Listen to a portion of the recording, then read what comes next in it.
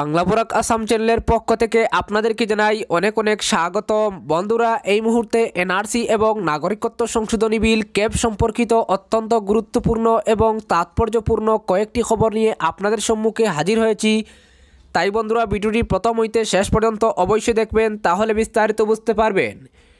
Citizenship amendment বিলের বিরুদ্ধে আজ থেকে তিন দিনের আন্দোলনে নামছে আশু অপরদিকে অসমিয়াদের শঙ্কিত হবার কোনো কারণ নেই, আশুকে আশ্বাস স্বরাষ্ট্রমন্ত্রী অমিত শাহের।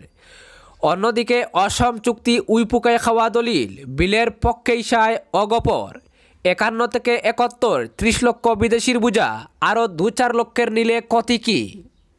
অন্যদিকে দশ ডিসেম্বর রাজ্যসভায় পেশ হতে পারে নাগরিকত্ব সংশোধনী বিল। তাহলে বিস্তারিত খবরে যাওয়ার আগে আপনার কাছে করব ছোট্ট একটা রিকোয়েস্ট ভিডিওটি দেখতে দেখতে অবশ্যই একটি লাইক করে দিবেন। এবং এনআরসি সম্পর্কিত প্রতিটি মুহূর্তের গুরুত্বপূর্ণ খবরাখবর সবার আগে পেতে এক্ষুনি করে দিন চ্যানেলটি সাবস্ক্রাইব এবং বাজিয়ে দিন পাশের বেলাইকন তাহলে প্রতিটি মুহূর্তের গুরুত্বপূর্ণ খবরাখবর সবার আগে আপনি নোটিফিকেশনের মাধ্যমে পেয়ে যাবেন।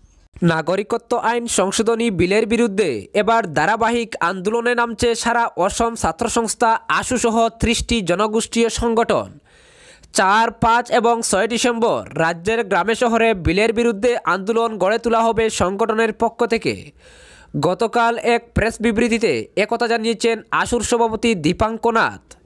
বিবৃতিতে বলা হয়েছে, প্রধানমন্ত্রী নরেন্দ্র মোদীর নেতৃত্বাধীন বিজেপি সরকার একমাত্র অবৈধ বাংলাদেশিদের সংস্থাপন দিতেই জবরদস্তি নাগরিকত্ব আইন সংশোধনী বিল চাপিয়ে দিতে চাইছে। যে বিল খিলঞ্জিয়া বিরোধী এবং সাম্প্রদায়িক ফলে এই বিলের বিরুদ্ধে আশু এবং ত্রিশটি জনগোষ্ঠীয় সংগঠন আন্দোলন অব্যাহত রেখেছে। চার, পাঁচ এবং ছয় ডিসেম্বর রাজ্যের প্রতিটি প্রান্তে বিক্ষোভ কার্যসূচি হাতে নেওয়া হয়েছে। তিন দিন জুড়া এই আন্দোলনের মাধ্যমেই এই ক্যাব বিরোধী আন্দোলনকে আরও এগিয়ে নিয়ে যাওয়া হবে। দীপাঙ্ক এদিন বলেন, উনিশশো একাত্তর সালের পর আসা হিন্দু মুসলমান কাউকেই এদেশে থাকতে দেওয়া হবে না। অসম চুক্তি লঙ্ঘন করে এমন বিল রাজ্যবাসী কোনোভাবেই মেনে নেবেন না। কারণ এই বিল এলে বিপন্ন হবে অসমিয়া ভাষা, সংকটে পড়বে রাজ্যের সংস্কৃতি, সংখ্যালঘুতে পরিণত হবেন ভূমিপুত্ররা, ফলে এমন জাতিধ্বংসী বিল বাতিল করতেই হবে কেন্দ্রীয় সরকারকে। এক ক্ষেত্রে সরল ভূমিকা গ্রহণ করতে হবে অসমের মুখ্যমন্ত্রী সর্বানন্দ সোনোয়ালকেও আশুর তরফে সরকারকে স্পষ্ট জানিয়ে দেওয়া হয়েছে, এই বিল যতদিন বাতিল হচ্ছে না, ততদিন অব্যাহত থাকবে আন্দোলন। অপরদিকে আশু নেতাদের মঙ্গলবার কেন্দ্রীয় স্বরাষ্ট্রমন্ত্রী অমিত শাহ সাফ জানিয়ে দিয়েছেন, নাগরিকত্ব বিল আসছেই উদ্যাস্তু বাঙালি হিন্দুদের নাগরিকত্ব দেওয়া বিজেপির বাধ্যবাধকতা আশুকে তিনি বুঝিয়ে দিয়েছেন, অসমিয়াদের শঙ্কিত হবার কোনো কারণ নেই। অসম চুক্তির ষষ্ঠ দফা রূপায়ণ করা হবে। অসমিয়াদের সাংবিধানিক সুরক্ষা দেওয়া হবে। মঙ্গলবার প্রস্তাবিত নাগরিকত্ব বিল নিয়ে আশু নেতাদের সঙ্গে বৈঠক করেন অমিত শাহ। আশুর বক্তব্য অবশ্য জানা যায়নি। অপরদিকে, এক বছর আগে যার কাছে অসম চুক্তি, গীতা, কোরআন, বাইবেলের মতো পবিত্র ছিল, সেই একজন মানুষের কাছেই আজকের দিনে ঐতিহাসিক অসম চুক্তি উইপুকায় খাওয়া দলিল মাত্র, যা পঁয়ত্রিশ বছর ধরে পড়ে রয়েছে। এক বছর আগে যে যারা নাগরিকত্ব আইন সংশোধনী বিলের বিরুদ্ধে গর্জে উঠেছিলেন, বিলকে ডাস্টবিনে চুড়ে ফেলার দাবি তুলেছেন, আজ তার মুখেই অন্য কথা। তিনি বলছেন, পরবর্তী পরিস্থিতিতে নতুন করে বাবার সময় হয়েছে। কারণ এ রাজ্যে বিদেশি শনাক্ত করা হলেও বিতাড়ন করা সহজ নয়। ফলে একান্ন থেকে একাত্তর পর্যন্ত ত্রিশ লক্ষ বিদেশির বোঝা নিতে পারলে এখন আর কয়েক লক্ষকে বসালে ক্ষতি কী? তিনি অসম গণ পরিষদের সভাপতি তথা কৃষিমন্ত্রী অতুল বোরা। এক বছর আগেও তার দলই বিলের বিরুদ্ধে গণ আন্দোলন গড়ে তুলেছিল। সরকার থেকে বেরিয়ে এসে পদত্যাগ করেছিলেন দলের তিন মন্ত্রী। মশাল হাতে রাজপথে বিলের বিরুদ্ধে প্রতিবাদ করলেও দেখা গেছে আঞ্চলিক দলের নেতাদের। কিন্তু মাত্র এক বছরের মাথায় পুরো চিত্রনাট্যই পাল্টে গেছে। সেই অতুল বোরাই আজ বলেছেন, আবেগের বসে বিলের বিরুদ্ধে আন্দোলন করা হচ্ছে। আসলে কেবে কি রয়েছে, না রয়েছে, তা না জেনেই আন্দোলন প্রতিবাদ হচ্ছে গোটা রাজ্যে। এমনকি অসম আন্দোলনও একমাত্র আবেগের বসেই হয়েছে বলতেও কুণ্ঠাবোধ করেননি অতুল বোরা।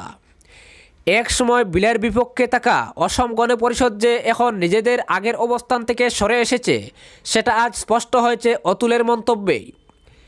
তিনি বলেন, গত পঁয়ত্রিশ বছর ধরে উইপুকে খাওয়া দলিলের মতো পড়ে রয়েছে অসম চুক্তি। এই চুক্তি বাস্তবায়িত করতে আমরা অনেক লড়াই করেছি। কিন্তু এতটা বছরেও অসমের ভূমিপুত্রদের সাংবিধানিক রক্ষা কবচ দেওয়া সম্ভব হয়নি। কিন্তু আজকের বিজেপি সরকার অসম চুক্তির ছয় নম্বর দফা রূপায়ণ করে আমাদের সাংবিধানিক রক্ষা কবচ দেওয়ার পদক্ষেপ গ্রহণ করেছে।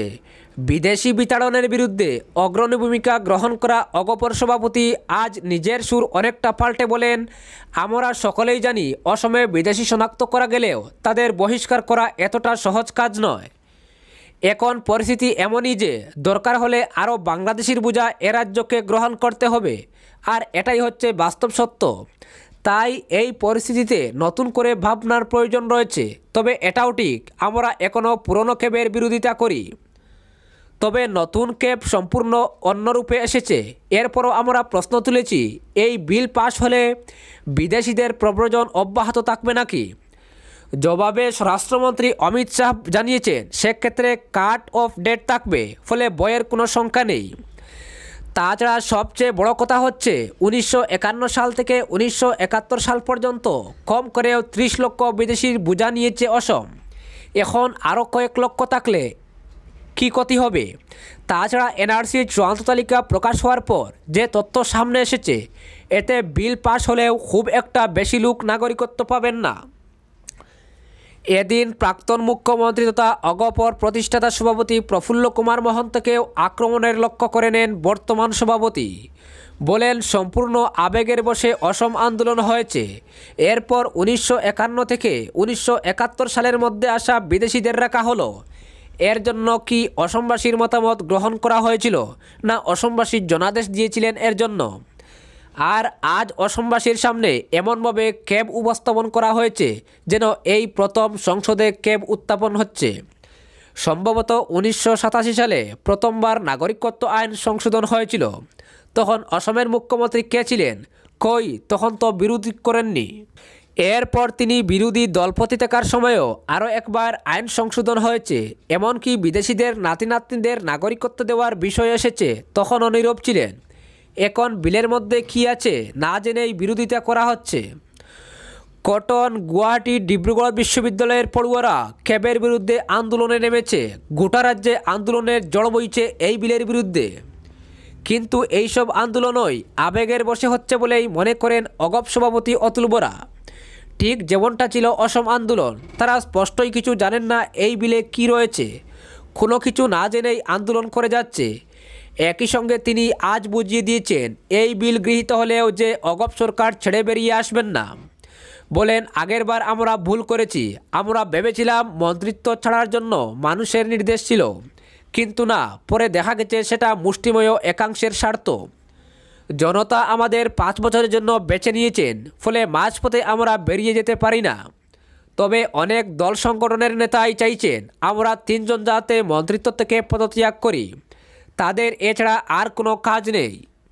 দশ ডিসেম্বর রাজ্যসভায় পেশ হতে পারে ক্যাব দশ ডিসেম্বর রাজ্যসভায় পেশ হবে নাগরিকত্ব সংশোধনী বিল।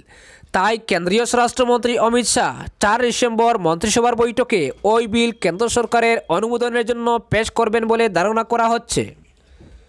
প্রসঙ্গত গত উনত্রিশ ও ত্রিশ নভেম্বর উত্তর পূর্বাঞ্চলের বিভিন্ন রাজ্যের নাগরিকত্ব সংশোধনী বিল নিয়ে মতামত সংগ্রহ করেছেন। প্রত্যেকেই ওই সংশোধনী বিলে আপত্তি জানিয়েছিলেন, কিন্তু কেন্দ্রীয় স্বরাষ্ট্রমন্ত্রী অভয় দিয়েছিলেন, ওই বিলে কারোর কোনো ক্ষতি হবে না। অবশ্য নাগরিকত্ব সংশোধনী বিলে বিভিন্ন রাজ্য নিজেদের স্বার্থ সংশ্লিষ্ট একাধিক প্রস্তাব দিয়েছিল। সেই প্রস্তাব মানলে তাদের আপত্তি থাকবে না বলে আশ্বস্ত করেছিলেন। কেন্দ্রীয় স্বরাষ্ট্রমন্ত্রকের শীর্ষকর্তার দাবি, অরুণাচল প্রদেশ, নাগাল্যান্ড এবং মিজোরাম, যেখানে ইনার লাইন পারমিট চালু রয়েছে, ওই রাজ্যগুলিকে ওই বিলের আওতার বাইরে রাখা হতে পারে। শুধু তাই নয়, ষষ্ঠ তফসিল আওতাধীন এলাকাগুলিকেও ওই বিলের বাইরে রাখার বিষয়ে আলোচনা চলছে। প্রসঙ্গত সংবিধানের ষষ্ঠ তফসিল মোতাবেক অসম, মেঘালয় এবং ত্রিপুরায় স্বশাসিত পরিষদ ও স্বশাসিত জেলা পরিষদ গঠন করা হয়েছিল। সেখানে স্বশাসন এবং সাংবিধানিক শাসন ক্ষমতা বলবৎ রয়েছে। গত এনডিএ জমানায় ওই বিল লোকসভায় পাশ হয়েছিল, কিন্তু উত্তর পূর্বাঞ্চলের বৃহত্তর স্বার্থে ওই সময় কেন্দ্রীয় সরকার বিলটি রাজ্যসভায় পেশ করেনি। কারণ ওই বিলে তীব্র আপত্তি উঠেছিল। গত লোকসভা ব্যাঙ্গে দেওয়ার পরে বিলটি বাতিল হয়ে যায়। এখন ওই বিলে একাধিক পরিবর্তন এনে রাজ্যসভায় পেশের প্রস্তুতি চলছে। ধারণা করা হচ্ছে, বিলটি রাজ্যসভায় সহজেই পাশ হয়ে যেতে পারে।